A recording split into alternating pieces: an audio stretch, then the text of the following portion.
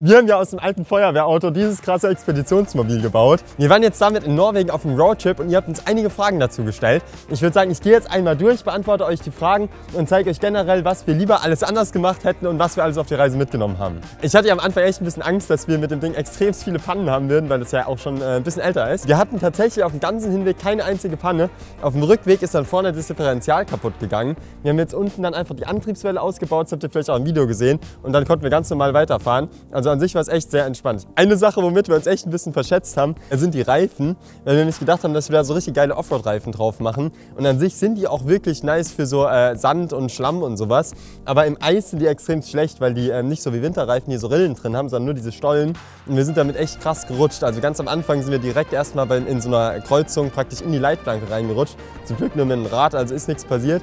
Aber dann haben wir die äh, Spikes reingemacht und dann hat es auch halbwegs funktioniert. Aber ich würde euch auf jeden Fall raten, wenn ihr einen äh, Roadtrip irgendwo in Schnee und Eis macht, dass ihr andere Reifen nehmt. Dass ihr wirklich darauf achtet, dass die auch für Eis funktionieren, weil das war mit denen ein bisschen kritisch. Eine Sache, die richtig nice ist, äh, sind diese Boxen hier. Die haben wir ziemlich spontan drunter gemacht, weil der Tobi von 4Wheel24 die noch rumstehen hatte. Und äh, da haben wir jetzt eine Outdoor-Küche reingemacht und dann immer draußen gekocht. Und es war einfach extrem nice. Also da ist wirklich so viel Platz drin wie in so einem Kofferraum von einem normalen Auto. Also ist echt eine nice Sache, gerade wenn man mit so vielen Leuten unterwegs ist. Eine Frage, die uns auch echt viele gestellt haben, war, was wir alles machen mussten, um TÜV zu kriegen, weil das Auto am Anfang ja kein TÜV hatte.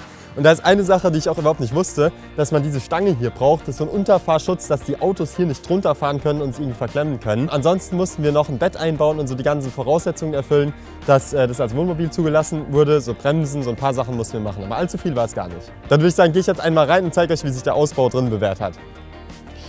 So, ich habe am Anfang ja gedacht, dass die Stufe hier extrem unnötig ist. Aber an sich war es schon sehr geil, gerade wenn draußen irgendwie Schnee ist und du halt nicht direkt mit deinen äh, Schuhen in den Schnee willst oder hier draußen Schuhe anziehen willst. War schon eine nice Sache. Wie komme ich da jetzt hoch? Das ist schon, schon immer eine Herausforderung hier ohne Leiter. Ich bin auf jeden Fall sehr, sehr froh, dass wir hinten diese Kabine gebaut haben. Gerade jetzt mit neun Leuten war es einfach sehr, sehr geil. Also man hat vorne ganz gut chillen können drin, aber gerade wenn wir jetzt irgendwo angekommen sind, war es schon sehr nice. Auch äh, die Küchenzeile und so gekocht haben wir zwar meistens draußen, aber allein als Ablagefläche und so war es schon sehr nice. Was auch echt praktisch war, war, dass wir diese großen Kisten hier reingebaut haben. Mit neun Leuten hatten wir einfach extrem viel Gepäck und so hat jeder dann seine eigene Kiste gehabt, äh, wo er seine Sachen reinmachen konnte. Das Einzige, was man da noch verbessern kann, ist, ähm, dass wir hier ja diese Schrauben reingemacht haben dass die Kiste theoretisch nicht rausfliegt. Also man muss sie immer erst ein bisschen hochziehen dann kann man die rausziehen. Aber wir sind manchmal über so krasse Bodenwellen gefahren, dass ähm, die Kiste halt nach oben geflogen ist und dann trotzdem rausgefallen ist. Also gerade hinten ist es manchmal passiert. Da müssen wir noch irgendwas davor machen, dass man die irgendwie zusätzlich sichern kann. Aber an sich war das auf jeden Fall eine sehr geile Sache so. Was echt richtig gut funktioniert hat, war die Stromversorgung. Wir mussten ja die ganzen Akkus von Kameras und so weiter laden.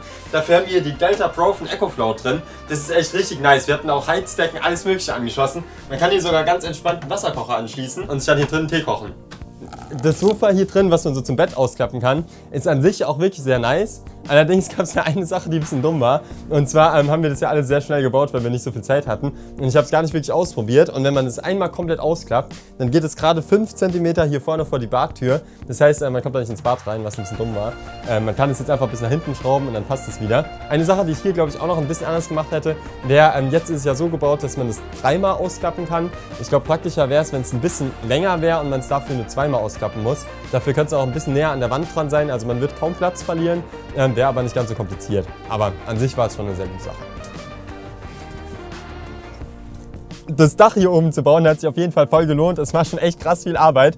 Aber am Ende haben wir echt mehr Leute geschlafen, als nötig gewesen wäre. Das Bett unten war immer halb leer, da hat glaube ich immer nur einer drin geschlafen, äh, weil es hier oben einfach nice ist, so mit der Folie, da kann man schon rausgucken. Es ist auch tatsächlich relativ warm geworden, aber natürlich nicht so warm wie jetzt unten drin, weil die Folie einfach nicht ganz so gut isoliert. Äh, da war ich sehr, sehr dankbar, dass uns der BW Online Shop richtig gute Ausrüstung zur Verfügung gestellt hat. Die haben uns unter anderem diese nice Schlafsäcke hier geschickt. Äh, die gehen bis minus 18 Grad und die haben wir echt gut gebraucht brauchen können, weil ein, zwei Mal die Standheizung ausgefallen ist. Da haben wir es dann unten auch einfach mit den Schlafsäcken reingechillt und äh, dann war kein Stress, dass es ein bisschen kälter war. Generell hat der WW Online Shop richtig gute Ausrüstung für alle, die gerne draußen unterwegs sind. Also egal, ob das jetzt Einsteigerausrüstung ist oder auch richtig professionelle Sachen. Ähm, wir haben von denen auch richtig viel gehabt für die Outdoor-Küche unten zum Beispiel. Dieser riesige Kochtopf, den habt ihr wahrscheinlich auch im Video gesehen, so der war von denen. Der war schon sehr nice, dass wir da äh, für alle so in einem Topf am Lagerfeuer kochen konnten. Auch Kleidung gibt es bei denen richtig nice. Die hatten uns äh, richtig warme Jacken geschickt und auch so äh, Thermounterwäsche und sowas. Das war gerade beim Schneemobilfahren wirklich nice, weil mit dem Wind und so, wenn man da einfach drauf sitzt und sich nicht allzu viel bewegt, dann kann es schon echt ganz schön kalt werden. Zusätzlich hat der BW Online Shop einen eigenen YouTube-Kanal, wo es immer alle möglichen Tipps und Tricks für eure Autoabenteuer gibt. Äh, schaut da auf jeden Fall gerne mal vorbei. Und dann gibt es noch eine gute Nachricht und zwar gibt es ab jetzt zwei Wochen lang 10% Rabatt auf alle Produkte im BW Online Shop. Dafür müsst ihr einfach nur den Rabattcode RLG10 eingeben.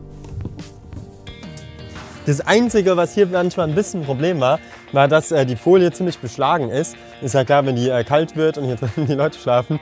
Ähm, ich glaube, das Problem hat man nicht so, wenn es draußen wärmer ist. Wenn wir nochmal irgendwo hinfahren sollten, wo es richtig kalt ist, können wir uns ja überlegen, ob wir hier so Wände reinbauen, die man von oben runterklappen kann oder so. Dann hätte man das Problem nicht. Aber ganz so schlimm war es auch nicht. Dann beantworte ich jetzt gleich vorne noch ein paar Fragen von euch. Ich glaube, der Durchgang hier ist auf jeden Fall eine der coolsten Sachen. Ähm, ist einfach schon ein riesen Vorteil, wenn man nicht immer seine Schuhe ausziehen muss und dann einmal außen durch den Schnee muss, um hier hinten irgendwas rauszuholen. Die Sitzecke hier hinten kann man ja außerdem noch zu einem riesigen Bett umbauen. Da muss man hier oben diese Platten rausmachen, kann der dann hier reinlegen. Ich finde auch die äh, Klemmen hier voll nice. An sich hat sich das auch echt bewährt. Also wir haben hier sogar oft drin zu viert geschlafen. Ähm, ist echt viel Platz. Ich glaube, insgesamt könnten hier vier, da zwei und oben auch noch mal vier oder fünf schlafen. Also da passen schon echt viele Leute rein. Wo ich auch sehr froh dafür bin, ist, äh, dass wir die Bänke hier neu gepolstert haben. Die war ja am Anfang wirklich richtig hart ähm, und so war das echt sehr, sehr bequem. Dann schaue ich mir jetzt nochmal an, was ihr alles für Fragen gestellt habt. Eine Sache, die echt viele wissen wollten, war, was man für das Ganze hier für einen Führerschein braucht. Das Ganze ist natürlich ein LKW, der wiegt ungefähr etwas über 7,5 Tonnen. Deswegen braucht man den C-Führerschein. Ich kann das Ganze nicht fahren. Nochmal ganz, ganz lieben Dank an äh, Luke und Max, dass sie die ganze Zeit durchgefahren sind. Wir sind die einzigen von uns, die einen Führerschein haben. Eine andere Frage war noch, wie viel PS der LKW hat. Der hat 192 PS ist an sich schon viel, aber dafür, dass er halt so viel wiegt, äh, auch nicht allzu viel. Ich glaube, der kann maximal 90 fahren, also schneller darf man eh nicht mit dem LKW fahren. Ähm, von daher eigentlich ganz okay, würde ich sagen. Wie weit wir gefahren sind, wollten noch einige wissen. Das waren ungefähr 3000 Kilometer. Also wir sind gar nicht so weit hoch jetzt nach Norwegen gefahren. Wir waren immer relativ in der Nähe von ähm, Oslo. Also damals, als wir mit Erik diese Tour mit dem Fabia gemacht haben, sind wir komplett bis hoch zum Polarkreis gefahren. Das war noch mal viel, viel weiter.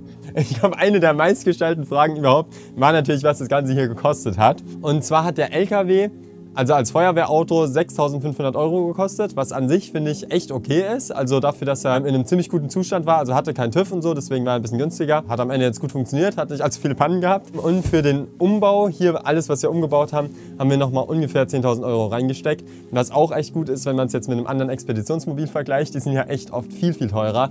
Ähm, da auch nochmal ganz, ganz lieben Dank an den Tobi von 4Wheel24. Ähm, der hat uns richtig viel dabei geholfen und echt viel kostenlos gemacht und auch einige Sachen geschenkt. Ähm, sonst wäre es auf jeden Fall nicht ganz so günstig geworden. Ich finde aber generell, dass man für ein Roadtrip-Mobil gar nicht so viel Geld ausgeben muss. Wir haben ja schon zwei Reisen auf jeden Fall mit so einem Bus gemacht. Einmal hatten wir so einen Opel Movano und einmal einen Sprinter. Ähm, da hatten wir einfach hinten so ganz einfach aus USB-Platten Betten reingebaut. Das würde ich euch auf jeden Fall sehr empfehlen. Also wenn ihr mit euren Freunden irgendwas äh, Cooles machen wollt, es war echt nicht viel Arbeit. Ich glaube, wir haben da gefühlt so ein, zwei Tage dran gearbeitet ähm, und hatten trotzdem nachher eine richtig geile Zeit. Ähm, ja, von daher wäre das so meine Empfehlung für euch. Okay, dann war jetzt noch eine Frage, wie lange der ganze Umbau gedauert hat. Ähm, wir haben so ungefähr drei Wochen dran gearbeitet, aber man muss ja echt sagen, ähm, gerade der Daniel, der hat da echt einige Nächte durchgemacht und ähm, bestimmt 18 Stunden am Tag gearbeitet. Von daher, ähm, ich denke mal, wenn man es jetzt normalerweise machen würde, würde ich da einiges mehr Zeit einplanen. Ähm, ich glaube, es so ein Projekt, wofür man sich wahrscheinlich sonst eher mehrere Monate Zeit nehmen würde. Dann noch ein paar andere Fakten zum Fahrzeug. Ähm, das ganze Auto hat Allrad, das macht natürlich extrem Sinn. Ich glaube, sonst wäre es auch nicht wirklich so ein Offroad-Mobil.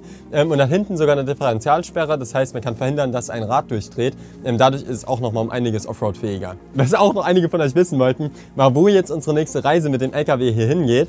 Und es steht noch nicht so ganz fest, aber ich habe auf jeden Fall mega Bock damit, mal eine krasse Wüste zu fahren. Ähm, der Tobi, der das mit uns zusammen umgebaut hat, der hat ja auch so ähnliche LKWs und der hat uns richtig vorgeschwärmt, ähm, wie es ist, damit durch so krasse Sanddünen zu fahren. Von daher habe ich da richtig Bock drauf. Wenn ihr Ideen habt, wo wir hinfahren sollen, dann schreibt uns das gerne mal in die Kommentare und auch generell, wenn ihr noch irgendwelche Vorschläge habt, was wir besser machen können, was wir umbauen sollen, dann schreibt es immer in die Kommentare. Dann sehen wir uns im nächsten Video. Bis dann. Tschüss.